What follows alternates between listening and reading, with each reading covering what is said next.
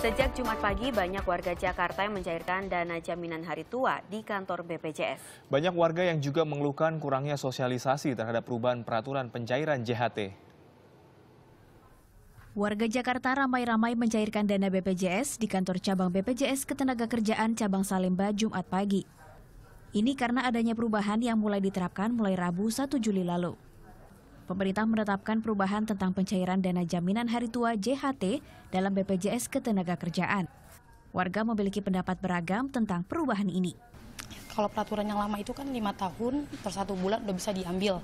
Sekarang peraturan yang baru seperti ini. Kalau menurut saya sih lebih baik peraturan lamanya itu diaktifkan kembali atau diberi waktu jenjang waktu. Kayaknya kurang kurang setuju ya, soalnya kasihan kan yang apa yang masa tunggunya sudah melewati lima tahun dan masa tunggu enam bulan kan yang peraturan yang lama itu kalau mau ambil dikasihnya 10 cuma dapatnya 10 persen kan kasihan sekali soalnya dia kan uang-uang sendiri masa dipersulit seperti itu.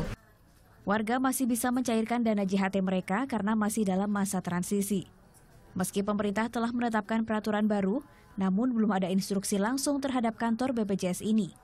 Lamanya masa transisi hingga kini belum diketahui pastinya. Sejumlah warga memang keberatan dengan peraturan pemerintah yang baru, namun kondisi loket pelayanan di kantor BPJS tetap normal. Selain itu juga tidak ada pengamanan ketat dari aparat kepolisian. Banyak warga yang baru mengetahui peraturan pencairan JHT baru ini. Mereka mengeluhkan kurangnya sosialisasi oleh pemerintah. Menurut peraturan pemerintah nomor 46 tahun 2015, JHT hanya bisa dicairkan setelah menjadi peserta minimal 10 tahun.